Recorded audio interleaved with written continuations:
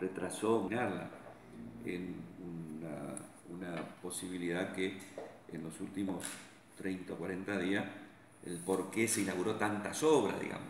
La idea no era, no era este, hacerla con la intensidad que hicimos, sino que fue el retraso de las mismas por la cuestión climática que permitió que, no sé, en obra pública tenemos alrededor de, entre todos los organismos, APA, SAMEP, SECHEP, Vialidad, Obras Públicas, Lotería, Instituto de Deporte y Desarrollo Social, cerca de 500 obras, obras en distintos, de distintas dimensiones.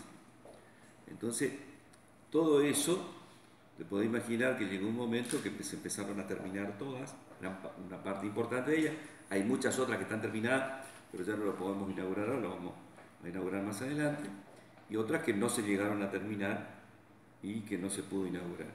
Entonces eso le dio un dinamismo que me volvió a hacer acordar la época cuando quería ser gobernador y que la verdad que me sentí muy bien, muy contento de poder nuevamente darle esa dinámica, ¿viste? Y esa adrenalina de poder cumplir con los horarios, con todos, de estar este, y de compartir con la gente.